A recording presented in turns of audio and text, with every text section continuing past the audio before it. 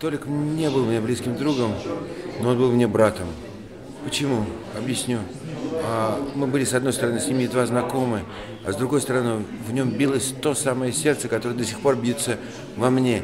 И когда я слышу его песни, я просто еду на машине, и вдруг, и вдруг я остаюсь, и вдруг э, то, что пронзает меня до самого, до самых моих внутренностей, э, он мне брат потому что мы дышим одинаково.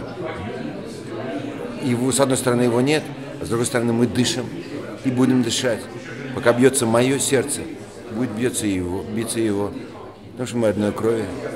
И эти понятия есть между мужчинами. Есть кодекс чести и кодекс э, правильного существования. Он был в этом смысле самым, одним из самых выразительных людей, которых я знал в своей жизни.